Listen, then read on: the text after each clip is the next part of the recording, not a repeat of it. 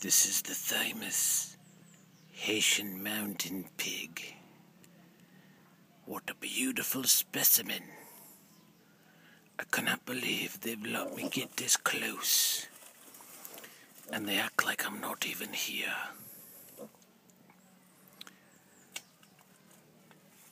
Such a wild and curious, beautiful beast.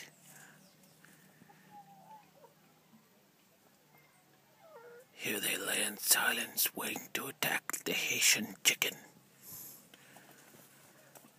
Who will win this battle for the mountain?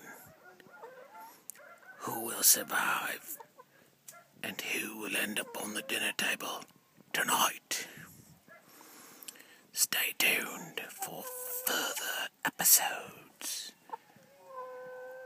Oh no, the mountain bird has spotted me.